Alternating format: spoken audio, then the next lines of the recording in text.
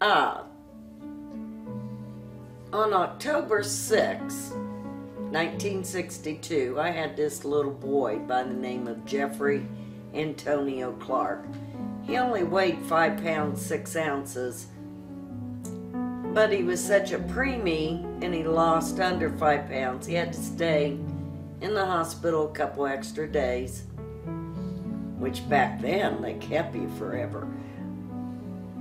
But we finally brought him home and we moved in, Ernie and I moved in to his parents' house with him.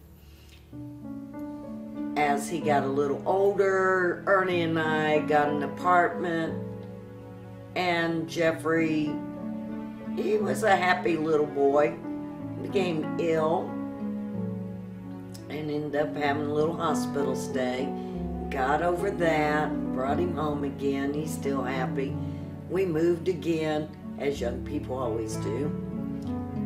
And Jeffrey was wandering around in his little walker in the kitchen as I was trying to put things up in this house we moved into, and he got into the flour. And when I went in the kitchen, he looked like a little snowman in his walker, and I was like, oh, and if you think that's bad, try getting flour off of a kid so then he grows up a little more.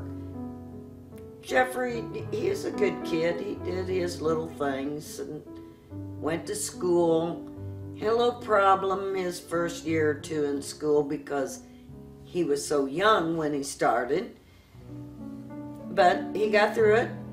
Once we got through all of that, Jeff was in junior high. He played the trumpet. Um, and he was on the track team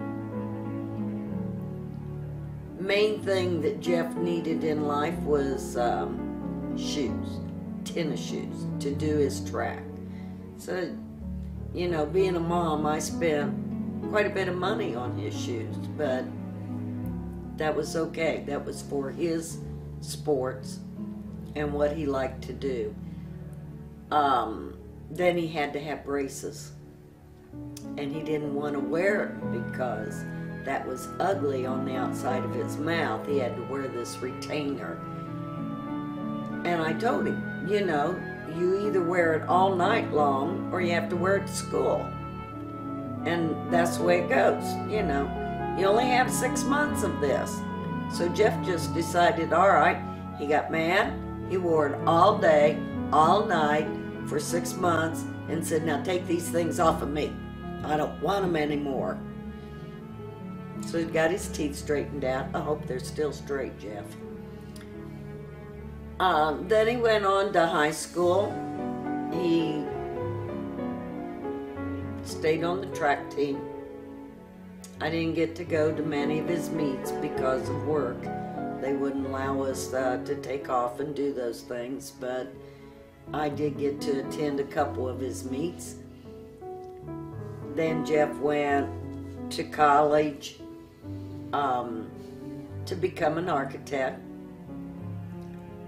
And that's basically what he does today. He's married, has a beautiful wife, Kathy, and he has a beautiful son, Connor.